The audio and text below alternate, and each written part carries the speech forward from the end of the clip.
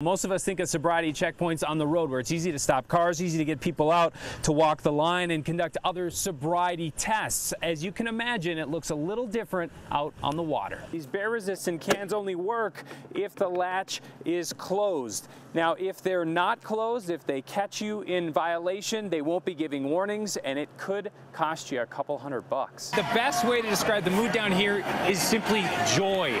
People walking out of the bars and restaurants, wherever they were watching, arms in the air for the most part, just cheering, giving high fives as they cross 16th Street. It was quite a wild ride for a lot of people out here, right along the Morgan County, Weld County line.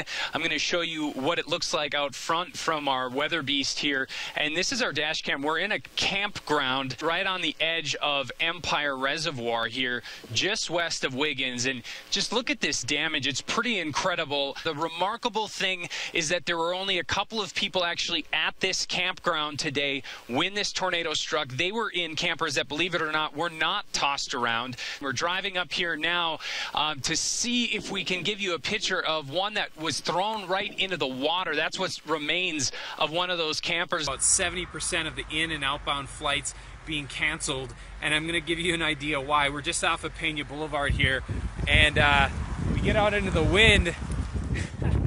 you can tell that uh, it's a lot worse than it is downtown Denver. There is a lot of wind and some drifting. I'm going to flip the camera around here. We've actually been seeing snowplows all along Pena. I brought this to the attention of the chief of police and the president of the Downtown Denver Partnership, both of them telling me they've seen the video and they're working to address it in specific ways. It was one week ago today at this very time, 5.30 in the afternoon.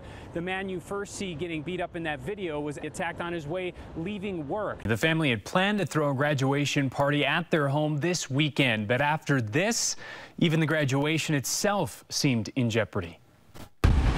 It doesn't take long for fire to do its worst. I heard this huge noise in like upstairs, so I went up there and I just saw that the whole ceiling was black. That ceiling was for a bedroom, Mariah Gonzalez's bedroom, a place she's never taken for granted. I've moved four times this year. Like I come from a homeless youth. Everything in that room was a gift. It was a gift and it makes me really sad knowing that that's gone. Mariah did manage to save some things to help her celebrate this weekend, but she said she lost the most important thing. I had my graduation cap and gown laying on my bed right there and all my books, all like stuff for college, like a lot of stuff for school. It was like a milestone for me to have something to symbolize me actually moving forward. What am I gonna do? Like, how am I supposed to walk? It touched my heart. It didn't take long for Adams County Deputy Sheriff Julie Cedillo to realize what happened. So as firefighters worked, she picked up the phone. When I talked to my contact at the school, I told them if they can't make it happen, I can make it happen by even paying for her cap and gown. The money wasn't necessary. They have another cap and gown for me. They have a cap. The only thing that they don't have is a tassel, but that's fine. You could call it a random act of kindness, but you'd be wrong. I was a child once, and I was there. I moved all over the place, so I kind of felt her pain. Sometimes it doesn't take long for people to do their best. I know that people care about me, and I know that that's all that matters, and that I'm okay. And that's that's what's most important. If I could come on Saturday, I would, but I work. Maybe they'll let me stop in though. I think they should let her stop into that graduation. Now, Mariah says her mother's employer, Sprouts, has already offered to donate food for her graduation party, but as you can imagine, they still have a lot more to figure out. For more information on how to help, check out this story on KDVR.com. Kent Erdahl, Fox 31 Denver. The owner says that he'll still be able to keep his doors open here because they can grow the marijuana elsewhere, but he's planning to take this to court because he says it's a bigger battle than against the neighbors themselves.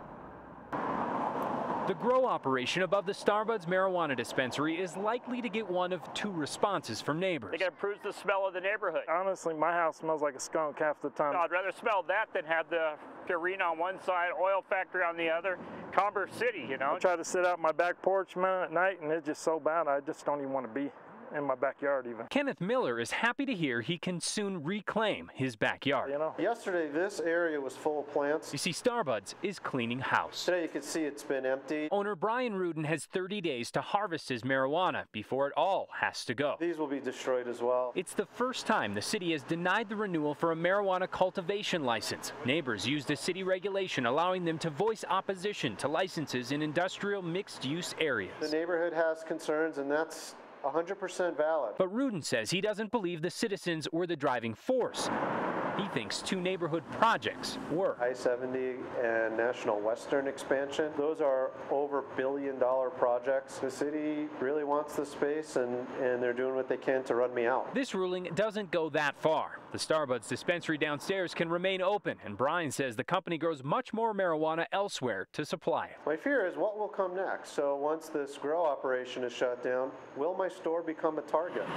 Some neighbors say that's a question for another day. we need to take control of our own neighborhoods, you know. I mean, we got kids and everything, you know, and I just think uh, it's a good thing if they move that out. Uh, once again, the owner says he plans to move forward with a lawsuit against the city, saying that he wants to keep the location open, but that this is also a battle that the entire marijuana industry will be watching. Reporting live, Kent Erdahl, Fox 31 Denver.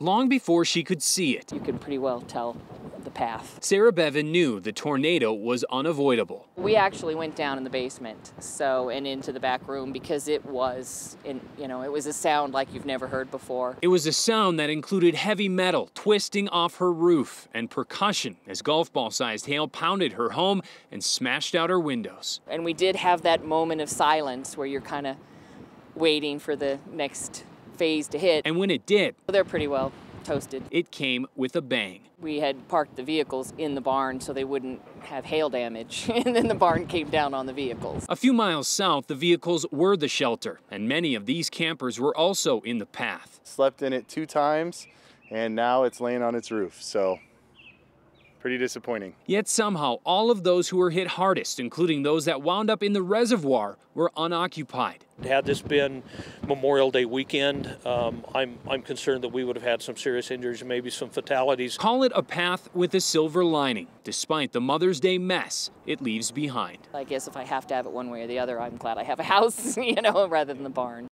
I called and Kent came to the rescue.